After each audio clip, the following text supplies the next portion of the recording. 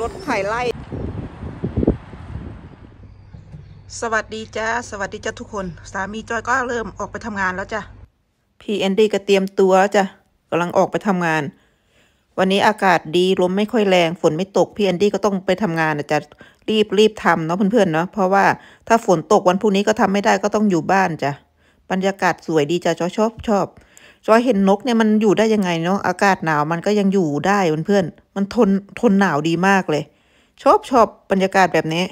พี่แอนดี้ก็ได้ออกไปทำงานแล้วจ้ะนะเดี๋ยวจอยก็ออกไปทำงานช่วงบ่ายๆช่วงเช้าๆพี่แอนดี้ไปทำงานเขาก็จะเลิกงานก่อนจะมืด เพราะว่าที่นี่มันมืดเร็วจ้ะบ่ายสามโมงสี่สิบเกือบสี่โมงก็มืดละอากาศก็หนาวเย็นจ้ะวันนี้ จอยก็เดินออกนอกบ้าน ไปออกกำลังกายจ้ะ เดินไปทั่วลมเริ่มแรงแล้วจ้ะเพื่อนๆจอยต้องพากเอาเป็นช่วงๆจ้ะ แดดมันดีจ้ะแต่ลมแรงจ้ะ หนาวอยู่จ้ะเพื่อนๆ อากาศเย็น แต่ลมเนี่ยเริ่มมาละจอยก็พาเพื่อนๆเดินไปทั่ว วันนี้ก็จะพาไปอีกเส้นทางหนึ่งจ้ะ จะพาไปเดินไปดู ว่ามันมีเห็ดไหมป้าจ้ะเดี๋ยวไปด้วยกัน จอยก็จะพาเดินลงไปเส้นทางนี้จ้ะนะ เส้นทางตรงนี้ ทางนี้ก็คนเขาเดินเยอะจ้ะ เพราะว่าเขาจะเดินไปอีกหมู่บ้านหนึ่ง หมู่บ้านก็หมู่บ้านทัดคัตเตอร์นั่นแหละ แต่ว่ามันจะมีบ้านอีกยิบย่อยอะเพื่อนๆ ก็ประมาณร้อยสองร้อยหลังคาเรือนอะนะ เนี่ยจอยก็จะเดินลัดไปทางนี้จะเดินบ่อย ไม่น่ากลัวหรอกจ้ะคนเฒ่าคนแก่เขาก็เดินกันเนาะ จอยชอบเดินไง ชอบทางลงทางลัดเดินไปเงี้ยเดินไปเรื่อยๆ อากาศแจ่มใสดีจอยชอบชอบแต่ลมแรงเนี่ยเริ่มแรงแล้วจอยก็อมลูกอมเพื่อนๆเจ็บคอไอเป็นพักๆไงด้านหลังนะเพื่อนจอยจะเพิ่งทักกันเมื่อกี้ทักทายกันคนเฒ่าคนแก่เขารู้จักสามีจอยตั้งแต่แบบแอนดี้ยังเป็นวัยรุ่นอะเพื่อนๆเป็นเด็กเป็นวัยรุ่นอย่างเงี้ย พอเดินมาก็จะมาทางนี้จ้ะนี่ทางลัดอาจจะดูเปี่ยวในสายตาเพื่อนๆนะ แต่ว่ามันไม่น่ากลัวจ้ะเพราะเขาเดินกันบ่อยจนชินจ้ะ คนเฒ่าคนแก่พาหมาออกมาเดิน เด็กเล็กเขาก็พากันมาวิ่งแถวนี้ จอยเจอนกโรบินเบิร์ดเพื่อนๆ ไม่กลัวไม่กลัวคนนะตัวเนี้ย จอยเข้าไปใกล้ๆเขาก็ไม่บินหนีเพื่อนๆเดี๋ยวจอยจะถ่ายให้ดู สวยจอยชอบ ถ้ามองถ้าเราไม่สังเกตจริง ๆ เราจะไม่รู้ว่าเขาเป็นนกนะ เพราะว่ามันตัวเล็กมาก เห็นไหมสวยจ้ะคอจะออกสีแดงๆตัวเล็กๆคอสีแดงๆอะ สวยแล้วเสียงร้องเขาอะเพราะด้วยจอยชอบจอยชอบดู ไม่ไม่กลัวแถมมองตามเห็นไหมกระโดดหนีจอยแล้วเนี่ยพอจอยมาเขากระโดดขึ้นกิ่งข้างบนแล้วเห็นไหมเหลืองๆด้านหลังจอยอะกลัวที่ไหนล่ะโร robin bird เนี่ยเดี๋ยวกลับไปอีกเห็นไหมสวยนะคุณลุงคนนี้เขาให้อาหารนกนะเพื่อนๆนะให้อาหารนกกับจอย จอยก็เลยเอามาให้ นี่เอามาให้ robin bird นี่จ้ะเห็นไหมกินกินเมื่อกี้ก็ยืนถ่ายรูปกับจอยแล้ว ตอนนี้ก็จะกินละ น่ารักมากเพื่อนๆน้อยมากนะที่เขาจะเข้าใกล้คนนกพวกเนี้ย ถ้าเห็นคนแล้วเขาจะบินหนีเลยจ้ะวันนี้จอยโชคดีมาก ที่อังกฤษเขาเรียก robin bird จ้ะนะโรบินเบิร์ดคุณลุงเมื่อกี้บอกว่าอยู่ตรงไอ้ข้างบนนั้นจะมีอีกตัวหนึ่งที่แบบว่าเขาให้อาหารบ่อยๆจ้ะ ถึงว่ามันไม่ไปไหนเพื่อนๆยืนถ่ายรูปกับมันได้ เพราะว่ามันคิดว่าจอยจะให้อาหารมันไง ดูดิ โอ้ น่ารักอะ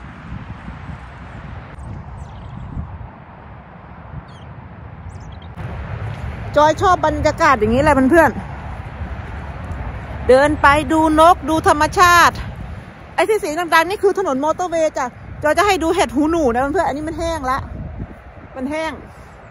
นี่คือเห็ดหูหนูที่แห้งแล้วนะจ๊ะ เราก็เก็บไปได้นะเพื่อนๆนะอย่างเงี้ยเก็บไปได้จ้ะนี่เราไม่ต้องไปเสียเวลาตากอีกนี่ อันนี้เห็ดหูหนูแห้งจ้ะนี่นี่อย่างเงี้ยคือเห็ดหูหนูแห้ง นี่ เราไม่ต้องเอาไปผึ่งอีกจ้ะเพราะมันแห้งแล้ว อย่างเงี้ยข้างบนเนี่ยนี่ อันนี้คือแห้งแล้ว นี่ อ่า ตอนนี้จอยก็เดินทุทะลุอุโมงค์มาละ มีด้านหลังที่จอยเดินมาจ้ะข้างบนก็เป็นถนนมอเตอร์เวย์นะรถจะเสียงดังอยู่ คือเป็นถนนมอเตอร์เวย์ไงเดินไปเห็นอะไรก็ถ่ายให้ดูจ้ะดูเห็ดด้วย มีเห็ดไหมทุกคน จอยเจอเห็ดหูหนูจ้ะเยอะมาก ดู อันนี้เขาเริ่มแก่แล้ว เราไปตากแล้วมันจะแห้งไวมากจ้ะเนี่ย ดู เก็บได้หมดนะเพื่อนๆนะ อันนี้มันไม่อมน้ำแล้วไง นี่ อย่างเงี้ยจะไม่อมน้ำละ อย่างเงี้ยจะจะไม่อมน้ำละ โอ้โห เยอะมากเลย นี่กำลังขึ้น นี่ โอ้โอ้เดี๋ยวจอยหักกิ่งไม้ให้มันออกจากพื้นที่หน้าจอยก่อน นี่ เห็ดหูหนูทั้งนั้นจ้ะ อันนี้ อันนี้ อันนี้ อันนี้กำลังอ่อนๆนี่ นี่ อันนี้กำลังขึ้นกำลังอ่อนๆ โอ้โห นู่น เดี๋ยวจอยจะเก็บให้หมดเลย จอยจะเก็บให้หมดเลยจ้ะ เยอะเกินนี่อย่างเงี้ยเก็บไปเลยไปตากแป๊บเดียวนี่ เพราะว่ามันมันมันไม่อมน้ำแล้วไงเพื่อนๆ โอ้เยอะ นี่ โอ้เยอะมาก นี่ใส่ถุงใส่ถุง เห็นไหมนี่จอยจะเก็บไปให้หมดเลย นี่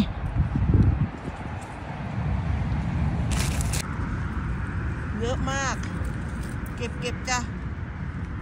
นี่ โอ้ ได้เยอะอยู่เนี่ยนี่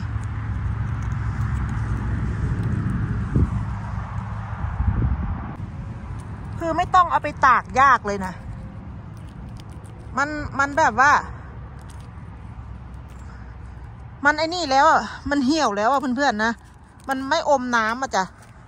ถ้าอมน้ำนี่จะต้องใช้เวลาในการตากนาน นี่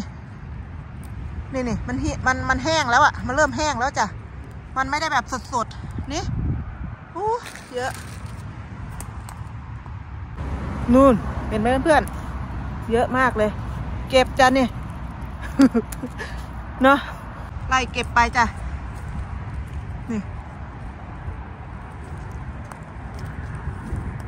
ฝรั่งเขาก็กินกันอยู่จ้ะ บางคนนะ บางคนเขาก็กินกันอยู่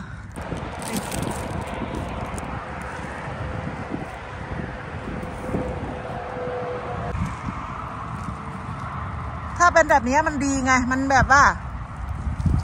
ไม่ต้องเอาไปผึ่งนานนะจ๊ะ ดู นี่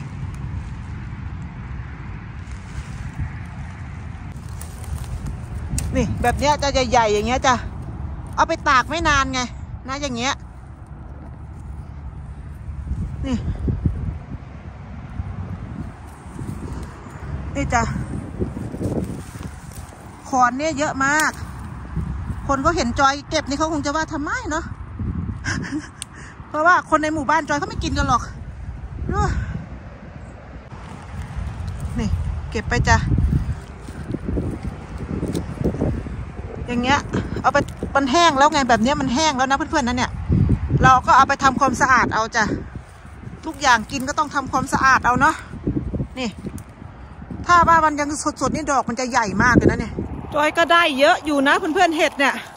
ได้เยอะพอสมควรจ้ะมันไม่อมน้ำแล้วนะเห็ดมันไม่อมน้ำแล้วมันเริ่มแห้งแล้วเอาไปตากก็คือตากไม่นานประมาณสองวันก็ก็แห้งแล้วจ้ะ จอยขึ้นไปหาเก็บข้างบนนั่นมา มันก็มีพอให้เก็บจากแถวหมู่บ้านจอยอะแต่งวดนี้ได้เยอะอยู่สวยตรงตรงไหนรู้ไหมตรงที่แบบว่า ตอนที่มันอมน้ำอะเพื่อนๆนะดอกมันจะสวยสีสวย ไอเนี้ยมันดอกเหี่ยวแล้วไงนะแต่มันไม่ใช่ปัญหาจ้ะเหี่ยวนี่แหละ เอาเก็บไว้นาน เอาไว้กินได้นานนะข้ามปีจ้ะนี่ป่าแบบเนี้ยที่จอยเข้าไปเมื่อกี้จ้ะมันก็มีอยู่ พอให้เราได้เก็บเนี่ยแถวอย่างเงี้ยโอ้นกเยอะเลยแถวนี้ แต่ว่านกไอโรบิน ตรงนี้มันไม่ค่อยมีมันมีแต่นกดำๆมาจ้ะเขาเขี่ยหากินหนอนกินอะไรประมาณเนี้ยไปเดินกลับดีกว่าได้เห็ดละ ได้เห็ดได้ถ่ายรูปนกโรบินให้ให้เพื่อนๆดูเนาะเพราะนกไอโรบินเนี่ยมันแบบจะจะบอกไว้ให้ ถ่ายมันไม่ค่อยได้หรอกเพราะว่ามันชอบบินไปใกล้ๆมันมันก็บินแล้วแต่ตัวเมื่อที่จอยเห็นนะสงสัยจะแบบว่าคล้าย ๆ แบบคุ้นเคยกับคนนะเพื่อนๆนะ เพราะว่าคุณลุงเขาเขาบอกว่าเขาเดินมาทางนี้ทุกวันเขาก็เอาอาหารนกอะ มาด้วยเขาจะให้เขาก็จะทิ้งไว้แถวนั้นแหละแล้วนกมันก็จะกินไงนี่ลอยเข้ามาทิ้งไว้ตรงนี้เขาให้จอยมาดูเนี่ยตรงนี้นะตรงเจ๊เนี่ยแต่สงสัยมันอิ่มแล้วมันบินหนีไปที่อื่นแล้วแหละเออไม่เห็นมันตรงนี้แล้วก็จะเดินกลับแล้วจ้ะ ได้เห็ดเยอะพอสมควรไปเดินกับคนเฒ่าคนแก่เขาชอบเดินนะ เพราะว่าหมู่ไอ้ตรงที่จอยไปเมื่อกี้มันเป็นหมู่บ้านหนึ่งที่จอยเคยได้บอกเมื่อวานน่ะจ้ะเป็นหมู่บ้านสโตตันวิลลิสนะ ก็มีบ้านหลายหลังมาก ประมาณได้สักร้อยหลังคาเรือนน่ะจ้ะนะ ประมาณร้อยร้อยกว่าแหละเพื่อนๆเพราะบ้านมันติดกันติดกันนะนี่ก็มีคนเดินจ้ะไม่น่ากลัว คนเฒ่าคนแก่เขาก็เดินกันจ้ะน่ะกำลังมาอยู่น่ะสองคน พาหมามาด้วยกำลังลอดอุโมงค์มาเพื่อนๆเมื่อกี้ก็ผู้ชายเดินผ่าน อย่างที่จอยถ่ายให้ดูนั่นแหละ เสียงนกโรบินตาเต็มเลยแถวเนี้ยเขาก็เดินกันอยู่น่ะ เห็นไหมคนเขาก็เดินกันจ้ะคนเฒ่าคนแก่เดินไปซื้อหนังสือพิมพ์ซื้อนมอย่างเงี้ยเพราะว่าหมู่บ้านสโตตันวิลิตเขาไม่มีร้านค้านะจะมาก็มาซื้อแถว หมู่บ้านจอยจ้ะนี่เมื่อเช้าเขาก็เดินผ่านจอยแล้วตอนจอยเก็บเห็ดเนี่ยมุมนี้สวยเนาะเพื่อนๆนะจอยจะพาเพื่อนๆเดินไปดูรถไถไร่เพื่อนๆไถไร่ไถนาที่นี่แหละ เพราะว่าจอยเห็นบรรยากาศมันสวยดีไงนานๆทีจะได้เห็นรถไถไถไร่ไถนาส่วนส่วนใหญ่จอยจะเห็นแต่รถไถที่แบบ เอาไว้ลากพวกมันฝรั่งอะเพื่อนๆลมแรงจอยเลยต้องพากจะเป็นเป็นช่วงๆนะ มุมนี้สวยจ้ะข้างหน้าก็เป็นไอ สวนเด็กเล่นจ้ะสนามเด็กเล่น จอยก็มีโอกาสได้พาเพื่อนๆมาดูรถไถเขากำลังไถไล่อยู่เพื่อนๆนกก็มา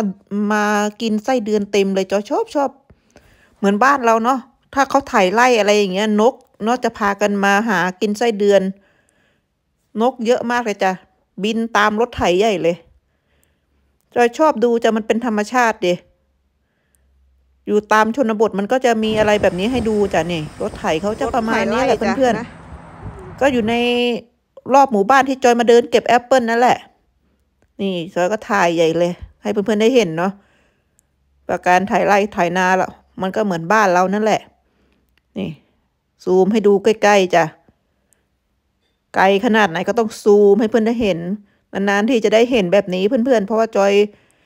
นานๆที่จะเดินออกมาอย่างนี้ เราได้เจอไง ส่วนใหญ่เขาก็มาไถก่อนจอยไงเพื่อนๆเอ้ยกลับมาถึงก็ตากพงตากผ้าจ้ะนั่นนี่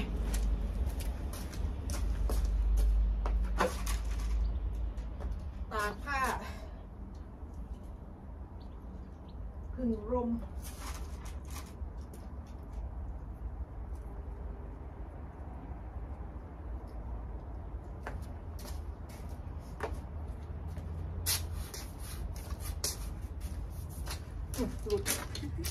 ตากผ้าผึ่งลมจ้ะ มันจะได้แบบว่าผ้าไม่อับในบ้านเนาะ